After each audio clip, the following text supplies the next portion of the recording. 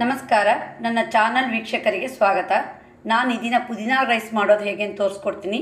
ಎರಡು ಕಟ್ಟು ಕೊತ್ತಂಬರಿ ಸೊಪ್ಪು, ಒಂದು ಕಟ್ಟು ಪುದೀನ ತಗೊಂಡಿದ್ದೀನಿ. ಎರಡು ಟೊಮೊಟೊ ತಗೊಂಡಿದ್ದೀನಿ, ಎರಡು ಈರುಳ್ಳಿ ತಗೊಂಡಿದ್ದೀನಿ, ಹತ್ತು ಬೆಳ್ಳುಳ್ಳಿ, ಒಂದು ಇಂಚು ಶುಂಠಿ, ಒಂದು ಇಂಚು ಚಕ್ಕೆ ತಗೊಂಡಿದ್ದೀನಿ. ಬನ್ನಿ, ಪುದೀನ ರೈಸ್ ಮಾಡೋಣ.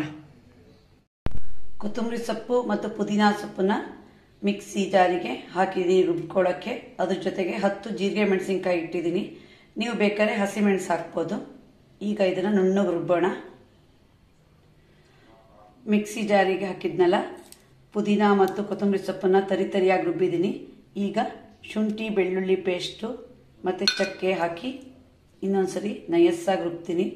ಮೊದಲೇ ಸೊಪ್ಪಿನ ಜೊತೆ ಶುಂಠಿ, ಬೆಳ್ಳುಳ್ಳಿ ಹಾಗೆ ಹಾಕಿದರೆ ಅದು ನಯಸ್ಸಾಗಲ್ಲ. ಈಗ ಮತ್ತೆ ರುಬ್ಬೋಣ.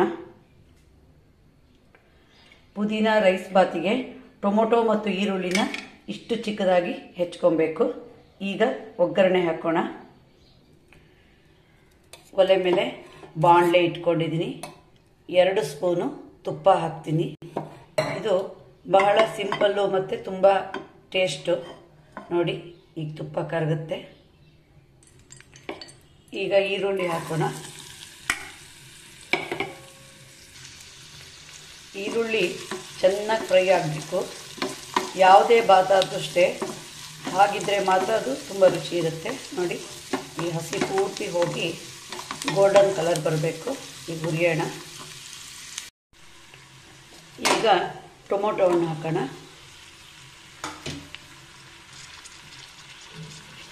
ಇದು ಸಹ ಅಷ್ಟೇ ಚೆನ್ನಾಗಿ ಬಾಡಬೇಕು.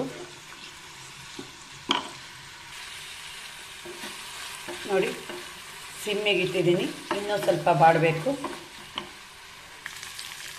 ನೋಡಿ, ಈರುಳ್ಳಿ ಮತ್ತು ಟೊಮೊಟೊ ಚೆನ್ನಾಗಿ ಬಾಡಿದೆ. ಈಗ ರುಬ್ಬಿಟ್ಟಿದ್ದೀನಲ್ಲ, ಪುದೀನ ಮತ್ತು ಕೊತ್ತಂಬರಿ ಸೊಪ್ಪನ್ನು ಪೇಸ್ಟನ್ನು ಹಾಕ್ತೀನಿ. ಈಗ ಇದು ಮತ್ತೆ ಗೊಜ್ಜು ಥರ ಗಟ್ಟಿ ಆಗಬೇಕು. ಒಂದು ಸ್ಪೂನಷ್ಟು ಉಪ್ಪು ಹಾಕೋಣ. ಚೆನ್ನಾಗಿ ಕುದೀಲಿ ಇದು. ಈ ಗೊಜ್ಜು ಹಾಕಿದ್ದೀನಲ್ಲ, ನಿಧಾನವಾಗಿ ಆರಬೇಕು.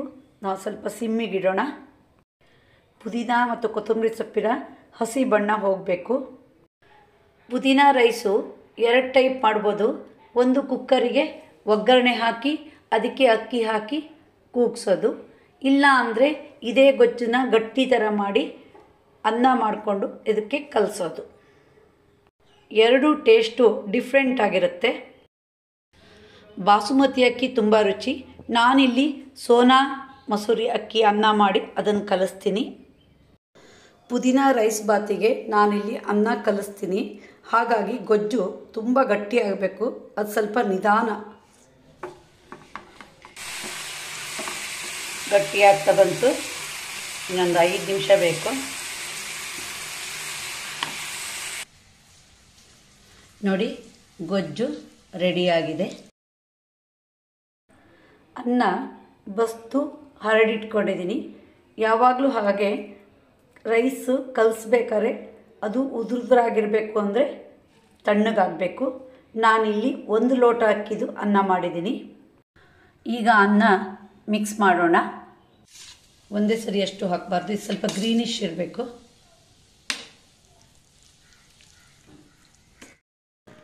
ಮಕ್ಕಳು ಸಹಿತ ತುಂಬ ಇಷ್ಟಪಡ್ತಾರೆ. ಇದಕ್ಕೆ ಗರಂ ಮಸಾಲೆ ಹೆಚ್ಚಾಕಲ್ಲ, ಬರೀ ಸಣ್ಣ ಚಕ್ಕೆ ಚೂರು, ಖಾರನೂ ಇಲ್ಲ, ಸಪ್ಪೆ ಸ್ವಲ್ಪ. ನೋಡಿ, ಚೆನ್ನಾಗೆ ಮಿಕ್ಸ್ ಆಯಿತು.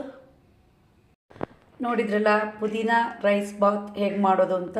ನಿಮಗೆ ಈ ವಿಡಿಯೋ ಇಷ್ಟ ಆದರೆ ಲೈಕ್ ಮಾಡಿ, ಶೇರ್ ಮಾಡಿ, ಸಬ್ಸ್ಕ್ರೈಬ್